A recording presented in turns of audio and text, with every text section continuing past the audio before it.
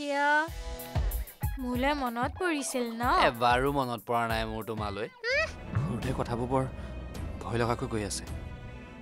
তাৰ যদি কিবা এটা হৈ যায় মই দায়িত্ব ল'ম নে? দামিনী অবিহনে সেইখন ঘৰ আধৰুৱা। আজিৰ খণ্ডটি উপভোগ কৰক নিশা আঠ বাজি ত্ৰিছ মিনিটত। আপোনাৰ একমাত্ৰ প্ৰিয় চেনেল ৰঙত।